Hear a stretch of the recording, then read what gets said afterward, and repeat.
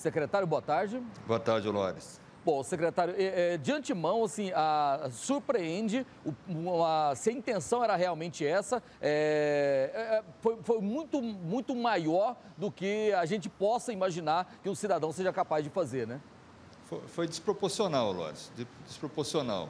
O próprio doutor Marcos Segberto, superintendente de Polícia Técnica Científica, nos relatou que tudo o que ela tinha pedido a gente estava fornecendo. Então, ela pediu para sair da chefia da, da unidade de Caldas Novas.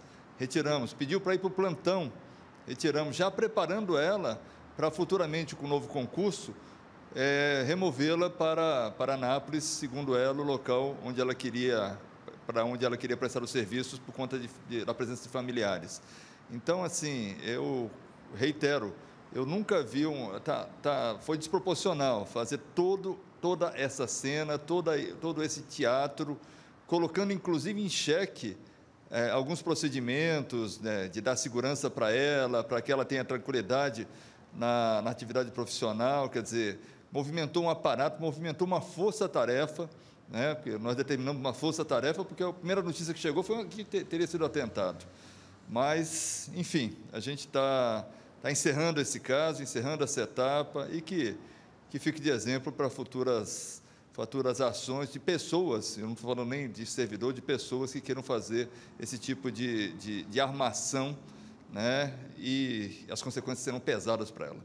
Secretário, nós estamos num ano político, um ano eleitoral, na verdade, e já tem pessoas tirando proveito é, dessa história toda e querendo colocar em xeque é, laudos emitidos por ela. É, isso vai ser apurado ou, a princípio, as perícias feitas por ela não é, é, serão revisadas ou não estão sob suspeita? As perícias geralmente são feitas por dois peritos. Então, já é um cuidado que nós temos para isso.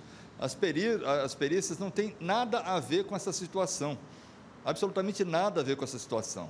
Tá? Mas se judicialmente for pedido e a justiça determinar que a gente reveja uma ou outra perícia, a gente pode rever. Agora, de ofício, nós não vamos fazer, até porque são mais de um perito e porque é, é, essa situação não teve nada a ver com a atividade profissional dela. Agora, secretário, qual foi o ponto fundamental é, que vocês começaram, que os policiais e os investigadores começaram a desconfiar dessa história? Primeiro, a relutância dela em dar detalhes, em ajudar as investigações. Então, a primeira coisa foi isso. Segundo, uma testemunha que ouviu ela comentando dessa possibilidade.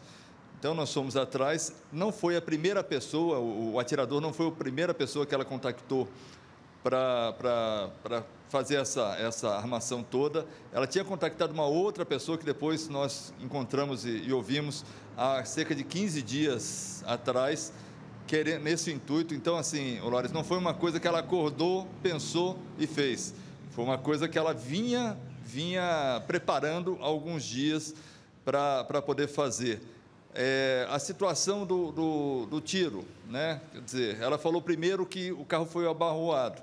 Depois, quando foi confrontada que não havia nenhum tipo de, de dano ao veículo, ela falou que foi fechada, jogaram para fora da pista, daí ela desceu, e aí chegou o motoqueiro e atirou. O motoqueiro só atirou uma vez, só no ombro dela, e depois foi embora. Quer dizer, se fosse um atentado mesmo, ele daria ou mais disparos, ou veria se o disparo foi suficiente para o intuito criminal dele. Descartamos de cara a, a, o latrocínio, porque o latrocínio, o, o motoqueiro não levou nada, não levou veículo, não levou bolsa, sequer celular que tanto no caso de atentado quanto também no caso de latrocínio, é a primeira coisa que as pessoas procuram. Enfim, então uma série de, de incongruências é, na, no, no relato dela levaram a desconfiar. A partir daí, achamos as testemunhas, achamos o atirador, o atirador confessou e ela, quando foi confrontada com a verdade, também confessou. Agora, alguns detalhes desde o início, né? Quando aconteceu esse fato, eu fiz um comentário aqui no Balanço Geral, nesses 30 anos acompanhando jornalismo policial, acompanhando o trabalho da polícia, eu até cheguei a comentar, peraí, se o carro saiu com o farol desligado, atingiu o carro dela, logo em seguida veio o motociclista e atirou, e ela, armada, ela ficou, ela desceu para ver o estrago no carro, ao invés de fugir ou então é, tentar confrontar. Quer dizer, aí também já, dá, já tinha alguma coisa meio suspeita, né? Também, também. Ela, ela achou um local ela planejou no local caminho da casa dela, para dizer, ó, oh, estou saindo do trabalho, indo para casa, mas um local de, de, de, iluminação deficiente. Quer dizer, foi fechada, desceu do carro, assim, ela era, tinha cinco anos de perita, tem cinco anos de perita, mas tinha outros cinco ou seis de escrivã, quer dizer, ela está na atividade policial há mais de dez anos. Então, no mínimo, um policial, é, como, como qualquer, desceria com a arma na mão para saber o que está acontecendo. Não, ela, segundo ela alegou no, no, primeiro momento, ela deixou a arma na bolsa, aí ferida, tentou alcançar a bolsa. Então, assim, tudo muito estranho, tudo muito estranho. E agora, a, a, hoje ainda, assim, a, essa motivação, Luares, não, não bate, não bate. Para mim, não bate. Tá? O caso está encerrado, vai ser encaminhado nos próximos dias para a Justiça.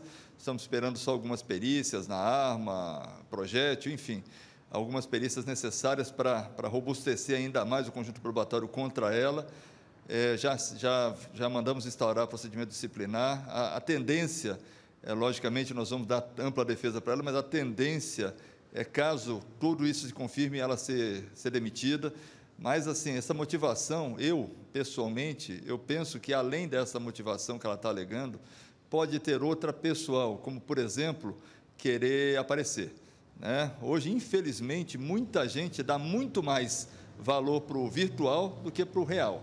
Então, não sei se ela não quis também é, é, supervalorizar a, a, a, pessoa dela e a atuação dela né, em, em, dentro da, das forças policiais e por isso armou, forjou toda essa, me, me perdoe até o desabafo, essa palhaçada que nos fez, é, deu um desgaste muito grande para a gente e, e uma tentativa até de macular o trabalho da perícia, da, da, da perícia e do, dos, dos, outros peritos que fazem um trabalho excepcional aqui no Estado. Só para a gente encerrar aqui, secretário, então o senhor acredita que é, seria uma caçadora de likes, né, para aumentar a popularidade, seguidores e assim chamar a atenção? Seria mais ou menos essa linha?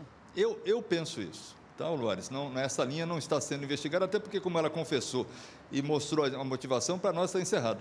Eu penso isso, porque logo depois fez o vídeo que vocês estão mostrando, fez o vídeo e, enfim, pode ser, pode ser que, é, que queria buscar os holofotes para ela, é, e, e, não sei se, qual a motivação futura.